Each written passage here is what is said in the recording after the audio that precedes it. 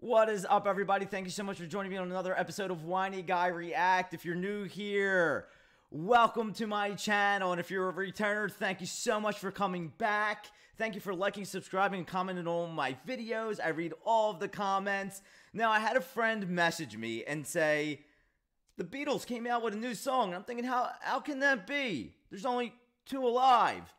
So I, I, didn't I didn't believe it, and so apparently Beatles came out with a new song. I cannot wait to listen to this. This is called Then and Now. That's what we're getting into today.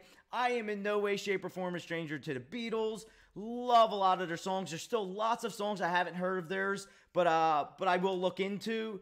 But let's get right on into this one. If you like the content on the channel, remember to like, subscribe, comment. Just check it out.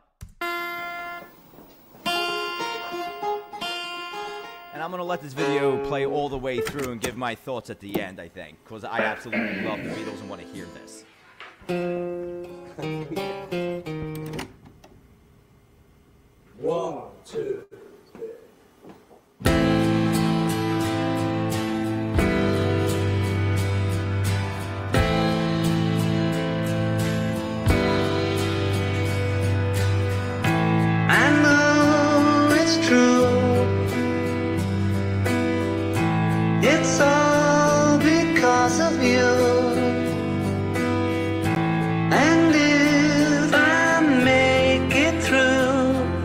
it's